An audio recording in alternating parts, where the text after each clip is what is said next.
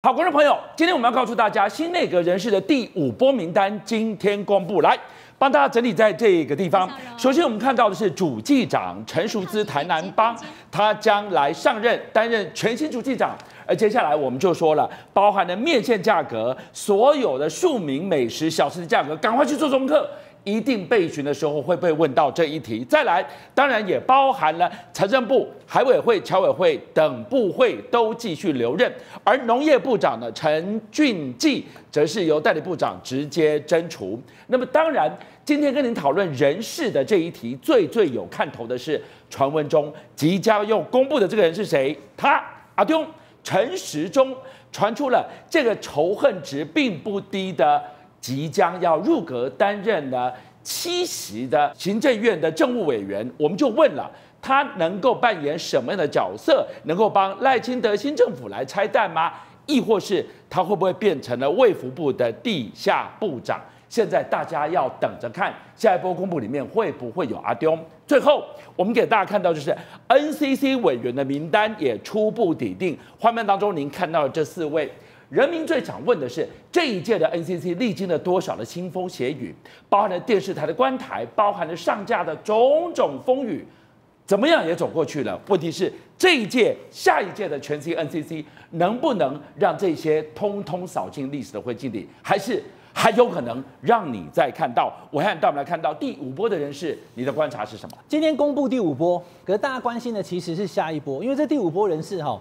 先前都已经爆派过，所以大家都没有意外哈。而且呢，大家关注的是下一波政务委员到底会是谁啦？哈，那当然，俊良哥，你知道政务委员以往大家讨论并不多，因为政务委员虽然他的位阶在部长之上，可他不是主官，他没有实权啊。对，督导公督导啦，政务委员都是底下的吧？就是在那边，在这个行政院的秘书长还有副院长之下，在部长之上的，大家一般也叫不出谁是政委。可是这一次的政委名单，哎。就像哥大家都在讨论的，为什么？因为现在挂头牌第一个大家讨论的是谁？陈时中阿丢，你等一下，卫福部长是邱泰元呢？那邱泰元已经来了，既有泰元又来阿中，那寄生于何生亮？到底以后谁才是卫福部长，对吧？那这位委员如果督导邱泰元的话，那以后陈时中还要管卫福部的业务吗？观众朋友，你就看哈，陈时中在二零二二年他那个时候台北市的整个选举当中，虽然输给了蒋万安，可是就像个二零二四年。台北市的八个立委，还有包含赖清德的全国竞选总部的呃那个竞选总部的台北市的主委是谁？阿丢，就是阿丢嘛。是，所以我现在跟大家讲了八个字，再讲一次，叫做论功行赏，信赖团队啊，只要有功了就会有嘛。那你看像郑文灿，因为桃园输惨惨，六席全部都输，所以他就可能只能去海基会。是，台中也是本来六席民进党现在变两席，对不对？那重点是台北市呢？台北市阿丢说没有比较好啊，没有，就像个以前台北市就是三席。嗯。就是高嘉瑜，然后还有这个士林北投跟这个是士林大同，那个林长佐他在中中华，他不是光民进党，所以本来就三起，下一次三起平盘，所以就当中委员，所以陈世忠入列，我不会意外啦，因为看起来虽然还没有公布，应该会有他。好，莫卡论功行赏，如果下一波人士直接阿东就入列了行政院政务委员，你要看他会是一张好牌吗？会不会当到后来变成真正的地下部长了？这好牌啊，好差的牌啊！我觉得国人真的是这两天这听到说陈时中要再回来，大家其实都觉得心惊胆跳。这难道过去这样子的一个仇恨值那么高的一个部长，如今摇身一变变成是政务委员？那以后到底谁才是我们国家卫福部长？因为政务委员不用到立法院备询哦，可是之后邱泰元这以前我们立法院的这个同事，会不会他变成说他没有实质一个权利？过去我曾经讲是说赖清德的那个团队有三个这个特点啊，就是独老难，独独派面孔，老老面孔不断，以及南台南帮。那拉回来讲，如果说陈时中。他有可能真的变成是下一波名单里面的一个政务委员的话，那真的印证了一件事情，什么事情呢？就过去二零二三年那时候台北市长刚选完的时候，有人问陈时中说：“哎，你有没有离开政坛？你什么时候再回政坛？”陈时中笑笑的讲说：“好像我也真的没有离开过，而且人生的事很难说。那难道是他这一次再回来当政务委员，又是为了下一次再铺路吗？那如果说真的是的话，那我真的觉得说这种仇恨值那么高的人。”虽然对于这一党来讲是说这会激起仇恨值，可是其实对我来说，我个人我是真的很不希望那么有仇恨值高的人进入到政府来讲。说实在话，台湾民众已经过去那么多的时间厌倦了选举，真的应该好好卷起袖子做事情的时候，真的不应该再用如此仇恨值高的人。所以我研判呐。未来陈时中如果真的进入到政务委员的话，其实会对于整个政务的运作来讲，绝对会 K K。那如果真的 K K 的话，到底之后卫福部相关听谁的？尤其是卫福部多重要？食安这么重要？过去苏丹红以及这个相关的食安事件还没有获得一个好好的控管，以及现在的儿少保护，包括说性私密影像，包括说儿少剥性剥削等等的部分，都是卫福部重中之重。我们呼吁卫福部不是儿戏的部会，尤其是关乎到全台。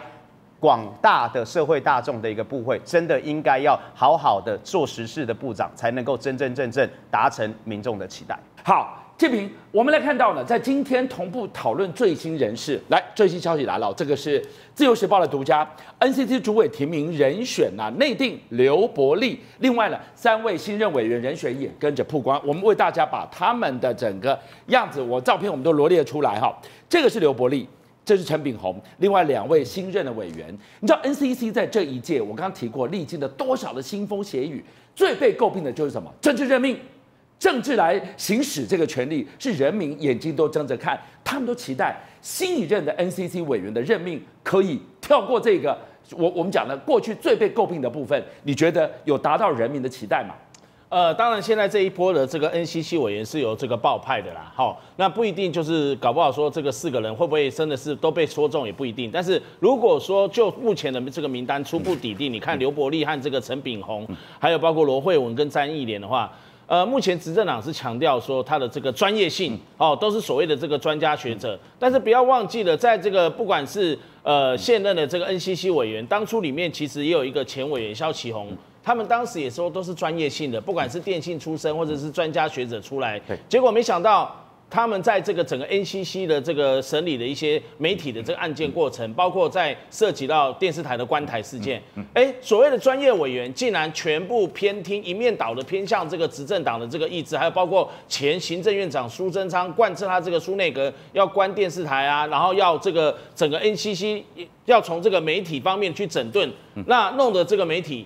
噤若寒蝉，所以我刚刚讲特别点名肖启宏，那后来他在卸任之后呢，竟然违反旋转门的条款，去担任诈骗集团的顾问，然后还月领顾问费五万元。所以当时他在出任之前，我一直记得那时候在提名这个肖启荣，类似他们也都是他说专家专业出身。所以这一次呢，因为在野党这个他的席次，国民党跟这个民众党他是大于这个民进党，所以在野党在这个立法院一直有呼吁说，能不能依照这个政党比例的这个。这个 NCC 委员这样的一个方式比例去提名，可是民偏偏呐，民进党执政党的这个人士就对外放话说，哎呀，这个在二零零六年的时候，那个时候就已经违宪啊，然后就不可能这样做啊，现在怎么可能？意思就是说执政党。他不会按照政党比例去安排提名这些 NCC 的委员，但是他会尽量偏重，好像在这一次不管第一波到第四波的内阁的部会首长任命的时候，我会尽量任命一些呃看起来是无党籍或者是无党无派的一些学者专家。但是这些人是不是跟你卓龙太熟，跟你有关系，容易就受你影响？所以我还是认为说，在野党不包括国民党跟民众党提出来这个政党比例，他们说啊这个违宪不可能，那其实就说明了民进党执政党的状况，他想要一把抓，一把抓了这样情形的话。这一届 NCC 委员，如果你还是用这样的做法，那就跟四年前、八年前你在任命 NCC 这一波一样，有政治任命，跟你是那时候是这个蔡友友这些好朋友的这个委员关系啊。如果他无党无派，专家学者是你在讲的，还有他自己的背景。可是当他被政治任命出身之后，他的做法会不会像我刚刚所举例的这样的一个方式出身？不无可能。所以我还是认为说，这一届的 NCC 委，尤其是像爆派抵定之后，我认为只是开启了另外一番立法院的火药库而已。好，董哥，我们看到了通讯传播委员会，一个通讯，一个传播，结果你看四个人名单一端出来，哎呦，会不会流于偏听？全部都是传播界的，你怎么看？因为过去通信的部分都去当人家门神，现在被抓到敲萧其红啊，对不对？那大家可以看到，他们想说学者会比较没争议，错了，学者更有争议，更有颜色。这四个里面，我当然也认识一些人，非常厉害啊，不用装了。那这一次民进党非常清楚，清楚在哪里？他提任何人都不会过，所以他只有各个击破。选举一结束，柯文哲马上被找到总统府，蔡英文提出条件，七个 NCC 委员，我们给你一个。好，柯文这柯文哲转述啊，我告诉你，民进党提名了他就会听民进党，国民党提名了就不会听国民党，过去一直是这样啊。甚至国民党过去马上就提了 NCC 委员，多少人在国民党过半数立法院都被砍了。我的好朋友汪用和当记者当这么久，连审都不审呢。大家想说啊，还有记者可以当 NCC 委员？当然了，七席里面有个记者会过问吗？十几年来没有啊。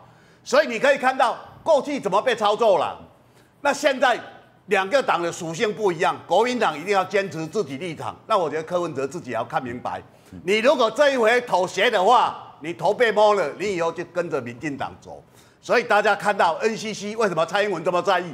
蔡英文跟柯文哲讲，我虽然剩不到几天就要退了，我五二零就要接了，但是这个我要来主导。如果照过去民进党所要求或者政哦宪政惯例的话，一定是留给五二零以后的新总统来提名嘛？为什么蔡英文等不及？因为他很清楚，民进党能够在台湾呼风唤雨，靠的就是媒体跟司法全力照他，那他用这个来掌控啊。不爽了就把你关台，爽了我就送你一个电视台，叫静电视。五七报新闻的所有好朋友，你们给了我百万的订阅，真的无限感激。我要跟大家瞪眼看，再一次谢谢你们大家，同时请介绍更多好朋友来支持五七报新闻。俊相还有优秀的五七报新闻团队会继续为大家每一天挖真相。